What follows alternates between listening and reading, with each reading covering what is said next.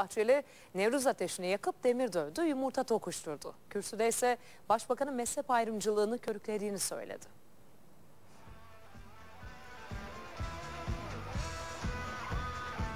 Önce Nevruz ateşini tutuşturdu MHP lideri. Genel Başkan Yardımcısı Atilla Kaya o ateşin üzerinden atladı.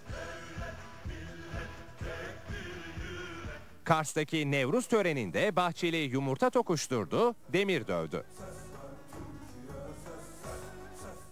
Bahçeli, başbakanın mezhep ayrımcılığını körüklediğini söyledi. Bu bir terbiyesizliktir. Başbakana yakışmaz. Başbakan bu ülkede yaşayan her vatandaşımın başbakanı olmalıdır. Hiçbir sebeple kimseyi ayırt etme hakkı yoktur. Bir televizyon kanalı için havuz oluşturulduğu iddialarını hatırlattı. Erdoğan'ın o iş adamları havuza girseler de ıslanmazlar sözlerine gönderme yaptı. Bu milletin zekasını yok mu farz ediyorsun? Havuzda su olsa bunların hepsi cıbıl cıbıl ıslanarak dışarı çıkar.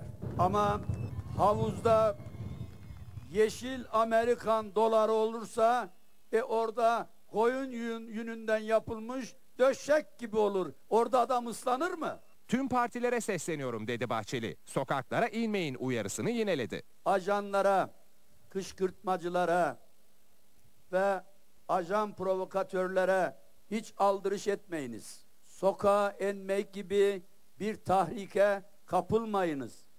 Bahçeli partisinin Kars adayı Murtaza Karaçantay'ı tanıtırken yüzlerde tebessüm yarattı. Bu kara kutu değil.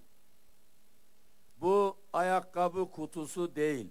Kars'tan yetişmiş kara çantadır. Ve Iğdır miting alanı çok kalabalıktı.